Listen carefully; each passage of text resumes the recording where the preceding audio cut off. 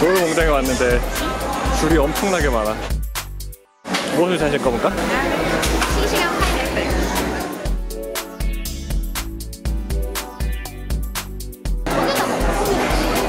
파인애플 파인애플 안 올려줄 것 같은데? 올려준다 플러스로 올려주는데? 아니구나 고치는 건지.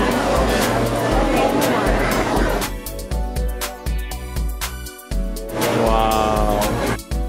저거 봐, 세, 세 줄, 세. 세 줄, 세 줄, 세 줄.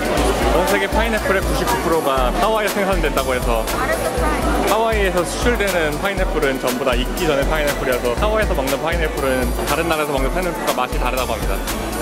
사실인지는 모르겠습니다. 파인애플 하나씩 꽂아줍니다. 오늘 긁어 오겠다 이거 이제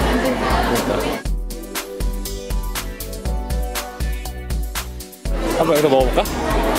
제가 한번 먹어보도록 한번 본토의 파인애플 한번 맛보시죠. 오리지널 파인애플입니다. 과연 얼마나 잘했지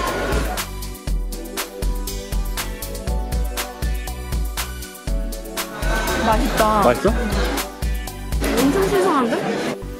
좀 달라 진짜 맛있어 나도 한입 줘보시겠나? 뭐가 다른지 설명해 주셔야죠. 게 없는 느낌? 어? 뭔가 이게 아주 알맞게 익었어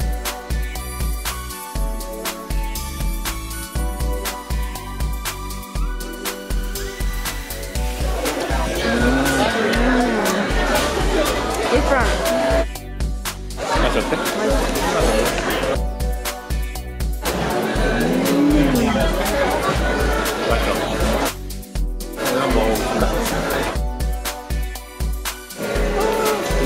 That's.